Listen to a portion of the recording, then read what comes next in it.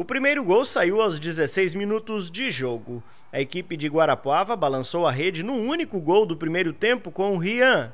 Na segunda etapa, o Marreco empatou aos 10 com Gonzales. Três minutos depois, o time da casa virou o placar com Canhoto 2 a 1. Os visitantes empataram faltando 4 minutos para o apito final com Leãozinho. E faltando apenas 23 segundos para o término, Kelvin fez o gol da vitória para o Guarapuava, final 3 a 2.